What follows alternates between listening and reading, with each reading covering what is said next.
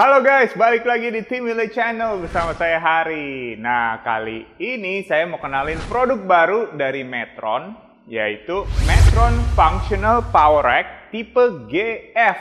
Nah, kalian harus tonton sampai habis ya.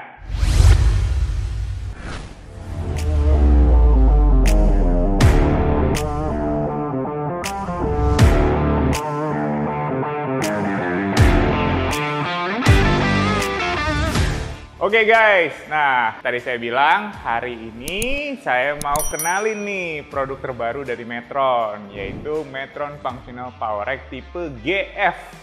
Nah sebelumnya pasti kalian sudah pernah dengar tentang Metron Functional Power Rack yang tipe MTF atau tipe MT1. Oke, nah kedua produk Power Rack itu udah sangat-sangat banyak ya terjual di pasaran dan banyak yang sudah happy banget sama produk tersebut.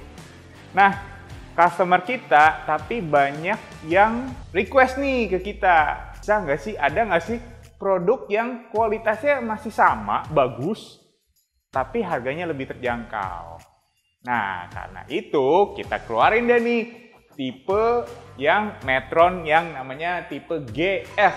Nah, secara kualitas dibandingkan Metron ini nggak kalah. Ini nggak kalah, sama-sama nggak kalah, bagus juga. Tapi harganya jauh lebih terjangkau. Oke? Nah, sekarang kita bahas fitur-fiturnya nih ya. Sebenarnya kalau kita ngomong fiturnya GF dan Metron MTF dan MT1 itu bisa dibilang sebenarnya sih mirip banget, nggak ada nggak ada fitur atau kegunaan yang berbeda. Jadi dua-duanya bener-bener sama aja. Oke, cuman bedanya di ukuran. Kalau yang GF ini sedikit lebih kecil, jadi harganya lebih turun sedikit. Oke, ya sekarang kita ngomongin fiturnya ya. Nah, pertama di sini ada J-hook, ada J-hook nih. Jadi kita bisa taruh barbel, ya kan? Terus kita bisa latihan squat, bisa latihan bench press, ya kan? Bisa uh, latihan shoulder press, apa pun itu, kita bisa taruh barbel di atas J-hook ini. Dan di bawah ini juga ada safety barnya. Jadi kalau kalian nggak kuat selesaikan satu repetisi, kalian bisa taruh barbelnya di safety bar ini. Oke, nah ini J-hooknya juga bisa kita atur ya ketinggiannya mau seberapa tinggi tergantung dari uh, tinggi kalian. Kalau sukanya atau tingginya di berapa? Mau turun atau naik? Terserah. Di sini juga ada nomornya. Ada nomor. Ada. Di sini ini engraving ya nomornya. Jadi biar nggak lupa gitu loh motor J-hooknya di mana kalian udah tahu lah. Misalnya di lantai eh, di nomor 13 ya udah 13 ya udah ke depannya 13 terus. Oke?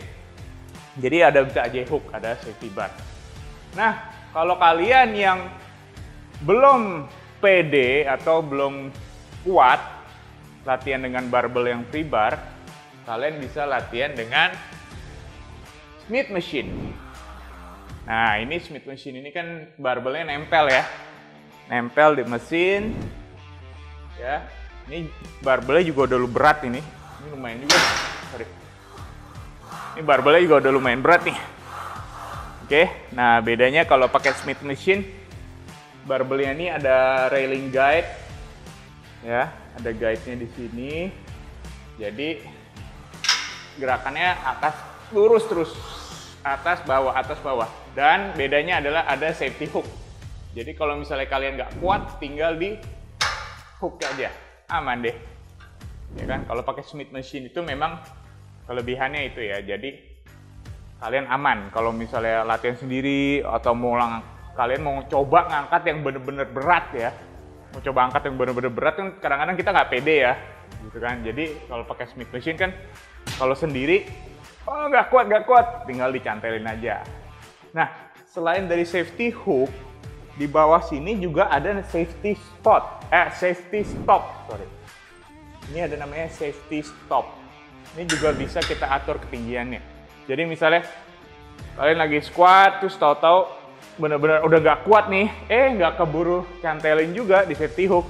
Tenang, ada safety stop. Oke, nah ini Smith machine. Nah, sekarang saya mau jelasin fitur selanjutnya. Ya, fitur yang paling banyak orang cari-cari atau paling suka, yaitu puli.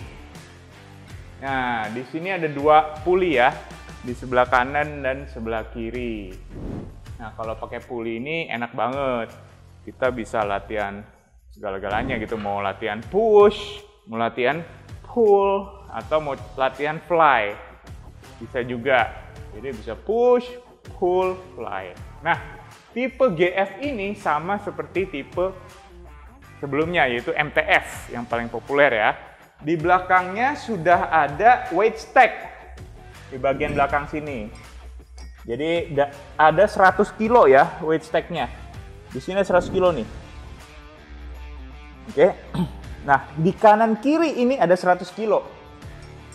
Kanan kiri 100 kilo. Jadi 100 kilo 100 kilo. Berarti total 200 kilo nih weight stack-nya nih. Berat banget. Oke, nah kita tinggal pilih nih mau beratnya mau berapa. Tinggal dicantolin aja pinnya.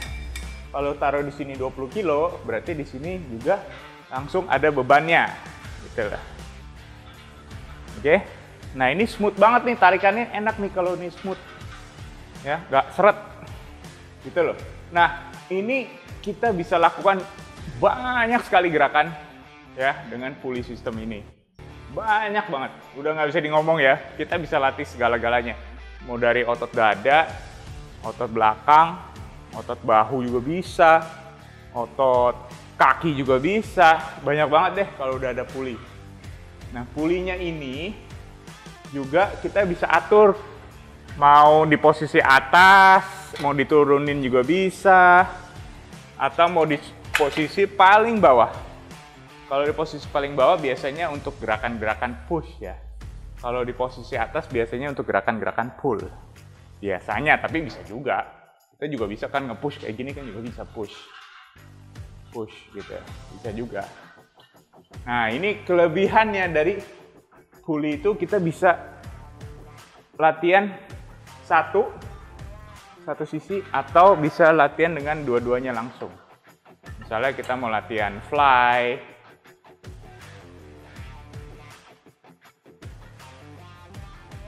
Nah, selain dari sistem puli ini, kalian juga akan dapatkan banyak sekali aksesoris. Ya. Aksesoris yang paling utama yang paling saya suka itu adalah deep bar. Ya. Deep barnya ini nanti tinggal dipasangkan dan kita bisa latihan deep. Nah, pasangnya bisa di sini, oke? Nah, selain itu, kalian juga dapatkan kayak gini nih. Ini untuk penahan kaki saat kita melakukan lat pull down. Ya, ini juga enak banget, sangat berguna banget deh buat kalian yang belum bisa melakukan pull up. Kalian bisa lakukan lat pull down dengan menggunakan alat ini, aksesoris. Oke? Nah, selain itu, kalian juga banyak banget dapat aksesoris lain seperti tali, Talinya bisa kita pasang di puli dan kita bisa latihan tricep pull atau kita bisa taruh di bawah dan kita bisa latihan bicep juga. Oke. Selain itu, kalian juga dapetin short bar. Bar short sama juga kalian bisa latihan lakukan latihan bicep, curl atau bisa juga latihan tricep push down. Banyak banget deh Selain itu apa lagi ya? Oh, di bawah sini nih, di bagian bawah ya, ada pengganjil kaki nih, ya, atau leg rest. Ya, leg rest ini gunanya apa sih? Kalau misalnya kalian mau melakukan row, cable row, ya, kalian bisa lakukan cable row dengan kakinya ditaruh di sini dan tarik-tarik deh pakai pulley system. Oke, selain itu ada apa lagi? Oh, ada dapat juga di bagian bawah kanan sini. Ada namanya single mine. Landmine. Nah, ini juga sangat berguna banget untuk melatih shoulder, shoulder juga, dada juga bisa. Ya, lakukan gerakan-gerakan landmine. Oke, nah, oh iya, di bagian atas nih ada pull up bar. Nah, ini buat kalian mau melakukan pull up. Oke, ini juga pull up barnya bisa ada beberapa variasi pegangan. Mau pegang seperti ini, mau seperti ini, mau seperti ini, semua bisa. Ini ada pegangannya beda-beda. Oke. Nah, selain itu, apalagi ya fiturnya? Oh iya, di bagian belakang nih ada tempat taruh barbel tuh. Ya, di bagian belakang ada tempat taruh barbel. Jadi barbelnya nggak berantakan dan aman, nggak takut jatuh. Ya, kalau taruh sembarangan takutnya jatuh ya. Ada tempat barbel. Selain itu, di bagian belakang juga ada tempat taruh weight plate. Ya, tempat taruh plate nih. Kalian bisa taruh plat. Jadi gym kalian rapi. Ya, gym kalian rapi, nggak berantakan. Di sini juga ada gantungan-gantungan aksesoris. Jadi kan kalian dapat banyak nih aksesorisnya. Nah, bisa taruh nih di gantung-gantung sini. Jadi biar nggak berantakan. Oke, nah sekarang kita ngomongin ukuran ya. Ukuran alat GF ini tingginya itu 220, ke samping 210, ke belakang 147 cm. Ya, jadi ukurannya beda sedikit dari dibandingkan tipe MTF. Ya, tapi sama aja lah. Maksudnya cuma beda lebih kecil sedikit. Oke. Nah, keperluan ukuran ruangan di rumah kalian kalau mau punya pasang alat ini itu kira-kira ya sekitar 3 kali 3 meter lah ya biar lebih aman dan tingginya tinggi plafon itu kalau bisa 2,5 meter jadi biar lebih aman dan kalian bisa lakukan pull up jadi aman kepalanya nggak ke kejedut gitu ya sama plafon oke kira-kira itu review singkat dari Metron Functional Power Rack tipe GF kalau ada pertanyaan, langsung hubungi CS aja atau check out website kami. Oke, sampai ketemu di review produk selanjutnya.